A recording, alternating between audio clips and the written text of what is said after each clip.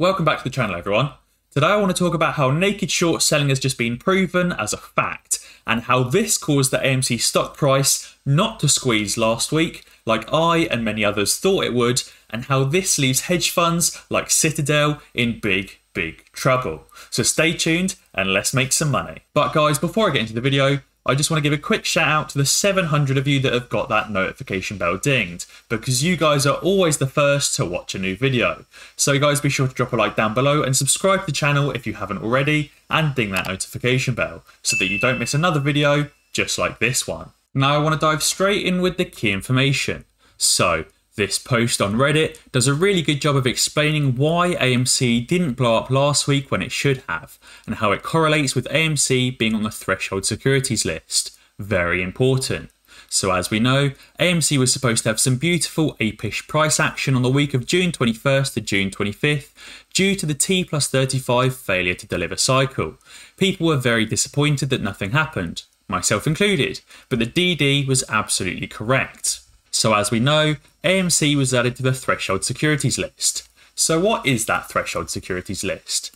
Well, this is the list here. On the 25th of June, we can see that AMC was added to that threshold securities list. We know that because if we go back to the 24th, it's not there.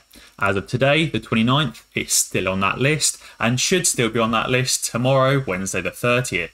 The definition of that threshold securities list is a threshold list, also known as a Regulation SHO threshold securities list, is a list of securities whose transactions failed to clear during the previous days. Threshold lists are published in accordance with regulations set out by the SEC. A threshold list is a list of securities that failed to settle in the previous five trading days. These settlement figures may be indicative of naked short selling, although they may be caused by benign factors such as administrative errors. I personally think that it's quite unlikely to be just caused by administrative errors, but we can't solely highlight naked short selling. Failures to deliver are not necessarily 100% indicative of naked short selling, as they can result from both long transactions and short sales. Basically, if a firm or a hedge fund can't locate the shares to short, it is a naked short sale. But if they also can't locate the shares to buy, but they still want to buy the shares, it might be reported as a failure to deliver. So what's the criteria to get on that threshold securities list? Well, there have to be aggregate fails to deliver at a registered clearing agency of 10,000 shares or more.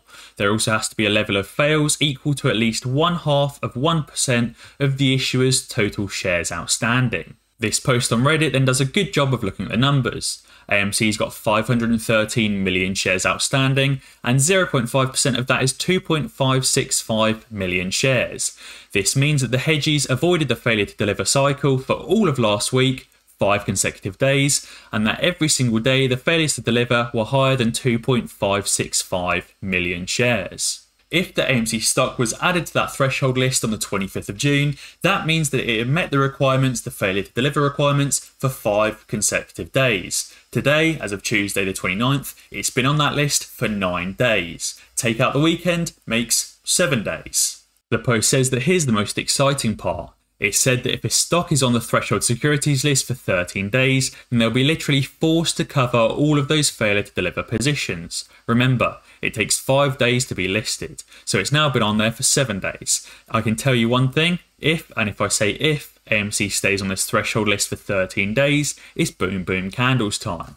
So, what is it with that 13 day time period? Well, the SEC website suggests that although, as a result of compliance with Rule 204, generally a participant's fail to deliver position will not remain for 13 consecutive settlement days. If, for whatever reason, a participant has a failure to deliver position at a registered clearing agency for 13 consecutive settlement days, the requirement to close out such position under Rule 203b remains in effect.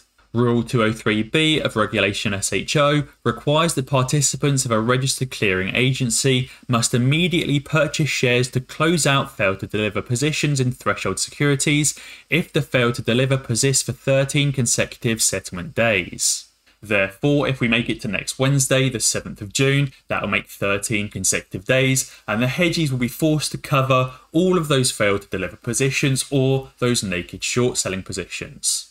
If we have a look at how that stacks up on the AMC chart, we can see that the AMC stock price is still within this bullish pendant. the 7th of June places us even closer to the end of that pendant. I and many others did actually expect the AMC stock to squeeze as of last week because it was still inside this smaller pendant. As you can see, the AMC stock did break out of that pendant and return back inside. So maybe the AMC short squeeze will start towards the end of this week or towards the end of next. When those funds are forced to cover their failure to deliver position, they'll have to buy back large amounts of the AMC stock, causing it to break bullishly and upwards through this pendant and on towards new highs over that $72, $77 mark. Guys, if you want to pick up some shares in AMC, but you haven't even yet signed up to a trading platform, be sure to check out the links down in the description below to get some free shares. You can currently get two free shares worth up to $1,850 with Webull at the moment, if you're in the US, or a free share with FreeTrade worth up to £200 if you're in the UK or in Europe. And as always guys, if you enjoyed this video, be sure to check out some of my others. Alternatively, subscribe to the channel and ding that notification bell, because that way you'll be alerted when I upload a new video. Cheers!